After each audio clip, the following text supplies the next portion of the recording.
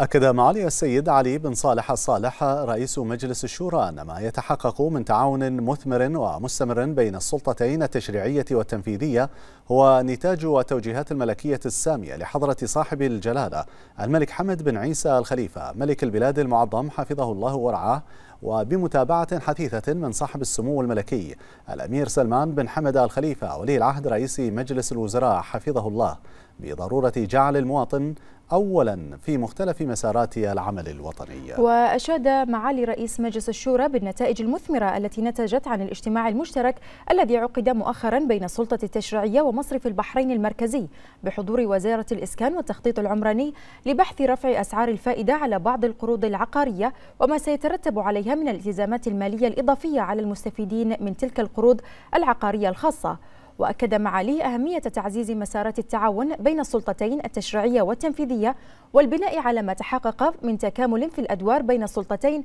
بما يخدم مسار العمل الوطني ويصب في مصلحة الوطن والمواطنين.